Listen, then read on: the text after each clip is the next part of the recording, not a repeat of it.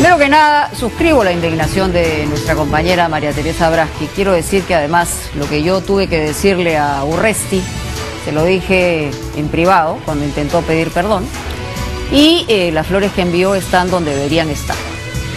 Eh, lo cierto es que hay cosas muy importantes que tenemos hoy en Sin Medias Tintas. Yo solamente solidarizarme contigo y con María Teresa por estas porquerías que escuchamos del Ahora, ministro. quiero decir que no es nuevo ni es original. ¿ah? Ya un presidente, en mi caso, intentó hacer lo mismo y ese presidente hoy, expresidente, está en una situación bien El complicada. hombre de la mansión. El ministro Daniel Urresti compartió una imagen de varias mujeres con una denominación ofensiva con la intención de vincularlas sentimentalmente al expresidente Alan García. En mi caso puso mi foto y puso choque y fuga. Al respecto quiero aclarar lo siguiente. Yo jamás, así de claro, jamás he tenido una relación sentimental con el señor Alan García. Jamás he salido con el señor García a tomar un vaso de agua, una Coca-Cola, un desayuno, un almuerzo. Jamás he estado a solas en ningún recinto con el señor Alan García. Las pocas veces, que en realidad ni siquiera han sido muchas, ha sido porque lo he entrevistado periodísticamente o porque hemos coincidido en algún evento público. En todas las ocasiones han estado muchísimas cámaras de televisión y cámaras de foto inclusive, fotos que usted puede recoger en el internet. Yo le quiero recordar al señor ministro que lo que ha hecho, en especial conmigo, es un delito de difamación. Yo tranquilamente podría iniciar una querella contra él. Y esto, se lo recuerdo, está sancionado con pena de cárcel. Y no piense que porque usted tiene un cargo, usted tiene derecho al antejuicio político, porque eso es un delito común. Usted, señor ministro, no se puede igualar a los delincuentes que persigue. Hágale honor a esa gorra que tiene encima. Hágale honor, defienda esa gorra, como tantos ex valerosos policías, como tantos policías que la usan y defienden con ella el honor. Le dan honor y talla a esa gorra.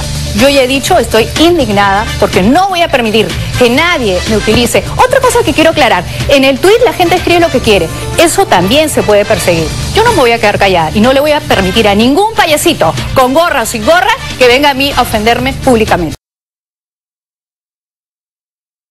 Acá para la COP 43 mil ¿Y por qué estos agentes no dijeron estamos brindando seguridad a la Embajada de Estados Unidos? ¿Por qué salieron huyendo? ¿Por qué los tuvieron que rescatar de, de- de la comisaría? ¿Salieron Eso es lo- huyendo? Eso es lo que genera no, no, sospecha. no, no, no, no, no. Eh, discúlpame. Eso es lo que genera sospecha. Discúlpame. sí. Uno huyó. Pero, Sí, ministro, no, no, no, no. una- una Sigues pregunta. afirmando cosas que no son ciertas.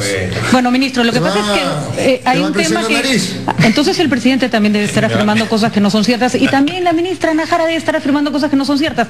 Y le explico por qué. Porque ellos han dicho que esto tiene que estar sometido a investigación, que esto se tiene que esclarecer, Claro. que esto se... Y usted Totalmente no. de. Para usted simplemente, desde que empezó el, el tema, no hay posibilidad de que sea el servicio de inteligencia el que haya- Otra vez Entonces, diciendo que yo afirmo que no hay posibilidad. Yo nunca he dicho Reti, eso. una- un- de verdad, usted debería escucharse más, porque habla mucho y no se escucha. Tú me no- dices que yo hable mucho, no te pases, pues.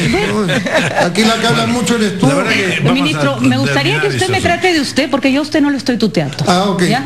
Usted habla mucho más que yo, es más, ni me deja responder. Le estoy haciendo una pregunta. ¿eh, ¿Merece esto una investigación o no? Usted se puede burlar Por y hacer todas las patanerías que quiera. investigación. Pero las pre- preguntas son claras. ¿Esto merece una Si investigación usted dice usted que está yo dispuesta a hacerla patanería, me está o va a proteger patán, a la pero a policía? usted no se le puede Yo- decir yo- nada porque es usted una diosa del periodismo. Yo, no, yo sí, señor, no, no le voy a permitir el calificativos No de esa naturaleza de ninguna manera. No, no, Raúl, no se los voy a permitir ni a pues, mí ni a ningún periodista. Pero si a mí me está diciendo patán, yo no he dicho nada. Yo no le he puesto ningún calificativo, señor. Usted me ha dicho que yo hago, hablo patanerías, el que habla patanerías es un patán. más afuera Sí, de la sí, tiene razón. La verdad, pues basta ya, ¿no? Pero, Al pero cuentas, digamos que, tiene que pero establecer digamos que el un ministro límite tiene que guardar la forma, ¿no?